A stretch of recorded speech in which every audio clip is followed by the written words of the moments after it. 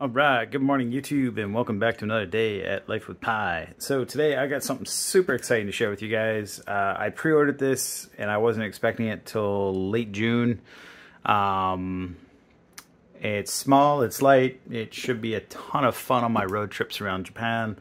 And yeah, I want to share with you all for the unboxing of my first impression just to see what it's like to get it out of the box. So here we go. And we have the DJI Mini 3 Pro. Uh, I'm super excited for this. This is my very first drone. Um, reasons for picking this up is that drone laws in Japan are changing recently. Uh, some for the better, some for the worse.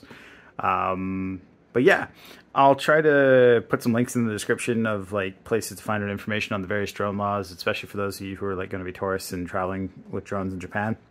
But there's a lot of new things like such as uh, in some red designated areas, if drones are still allowed to be flown, um, you can hook up like a 30 meter tether to your drone. So like say a fishing line to a fishing rod and make it 30 meters long and take off in the air and at least get some decent aerial shots. It's like an eight story building for those of you or that don't speak metric.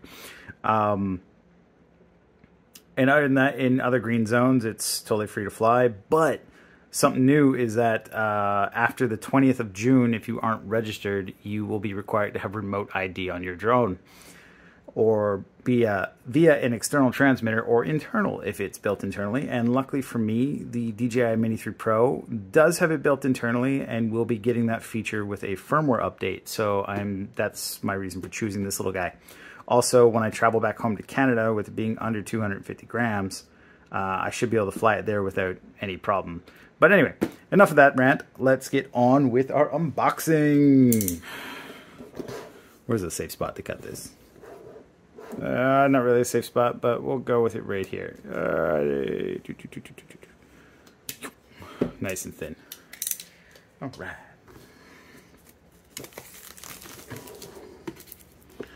Oh, oh, oh, oh, it's going to be stubborn. No, don't you do it. Man, I'm way too excited about this thing. I have wanted a drone for a dog's age. So now, guys, oh no, we have more things to cut. Rats. Oh wait, no, they did a pull and peel. Ha! Awesome, DJI. I, I love you guys. That's just a nice touch. Ooh, what do we got? What do we got? Oh, and this looks like our little birdie. Let's get this beautiful thing. Oh. There's a bigger drone going over. An airplane. Maybe it's a helicopter. Not really sure. But anyway. So guys, here is the Mini 3 Pro first unbox. This is such a compact little drone. It's super light. The battery's even in it, and it feels like it weighs next to nothing. That is just insane. Let's pop these propellers out here. Whoa. Oh, that is so cool. So yeah, this tiny little dude is going to go in my backpack and hopefully travel all over Japan with me to areas that I haven't been before. Uh, my wife and I are going to Hokkaido in August, so hopefully I'll get to fly it up there if it's not too strict. I got to check the drone maps. But yeah, it has uh, rear sensors and front sensors, a 4K camera. Uh, it's getting 10-bit RAW inside it with another firmware update, obviously. Um, but yeah, it's just some cool shit. And here's some downward sensors as well. Uh, so yeah, awesome stuff. Let's see what else is in here.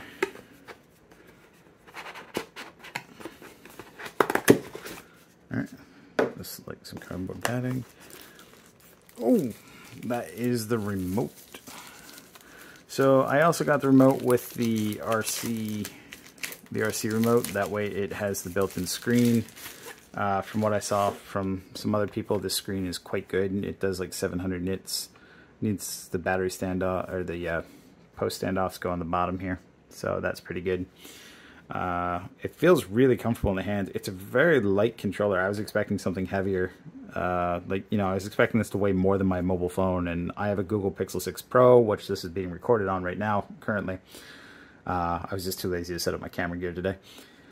And um, yeah, this this is really light. Like I could hold this for hours and not feel like getting tired. Like versus like my DSLRs or my mirrorless cameras, which weigh a ton more than this thing does. I'll have to figure out what all this stuff does, but very cool. What else we got in here? That's it for the box. Sorry, there's my little friend there. He was propped up with some candies.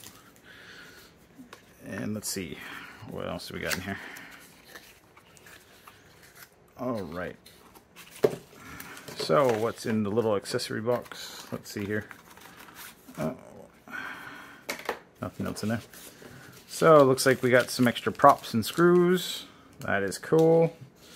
Nice set of this two props in case you crash and burn. Hopefully I don't crash, knock on wood. A uh, little screwdriver for it, that's a nice touch. Instead of me having to go use my glasses screwdrivers. Uh, USB-C to C cable is included. And various instruction manuals. We have a quick start guide, a huh, France SAR regulation compliance statement. That's interesting. Uh, so obviously this is the same as what goes in the European packaging. Then we have one for what looks like Japan probably. Uh, I don't know what this little manual is here. Not sure what that one is. I'll have to look for this after and read it. Uh, what do we got here? This is our safety guidelines. That's important, especially as a new drone pilot. I do need to read those and make sure I go over all that jazz. Uh, buy more guides. So the future is possible. Buy more guides, I guess. Different things, flight restricted areas, prohibited actions during flight, details about the law. So this is all really good stuff to know. And it's in English, surprisingly, for DJI Japan. That is really cool. I was not expecting that. I was expecting a full Japanese manual for this. Um, so I'll have to go through this later and check it out. And what else? Know your drone. So they have some extra stuff on here. And then I have my, what in the world is this? To contact the CAA for advice. Oh, so there's a little like card here, share the skies. That's really cool. They promote a lot of the compliance and like, you know, following the rules and doing the right thing with your drones. They want you to have fun, but they also want you to be safe. So that is really cool, DJI. And then there's some other stuff in the language that I don't speak. Anyway, guys, enough about this. So, now that I have this lovely thing in hand, whoops, sorry, let's get that back in frame there. This little guy and this little guy over here, really nice piece of kit. Oh, sorry for the camera shake. Really nice piece of kit. Um, yeah, I, am super excited to fly and hopefully get some photos and videos up of me in the air for you guys to see later on. And maybe even some of the bike tracking. I really want to test it out with uh, the active track on a motorcycle. So that would be really cool to do. Um, if you guys have any cool flight ideas or pro tips for drone flying, uh, shoot them my way. I'm all ears and happy to hear it. Uh, I did not manage to get the Fly More combo kit for this one yet, uh, but I will buy that later probably after I get used to flying with the regular battery and it becomes more readily available. Uh, I have heard that I need to pick up ND filters. I'm looking at the Polar Pro ones, but if you guys have any other pro tips or recommendations for drone accessories, yeah, let me know. Anyway, have fun out there, guys, and safe flying if any of you fly. And for those of you that don't, please check out more of my YouTube channel, and hopefully I'll have some more flying videos up once I get this thing up in the air. All right, guys. Anyway, have a safe one and uh, a great day and great week, whatever's going on with you. And um, yeah. Thanks for watching. Bye.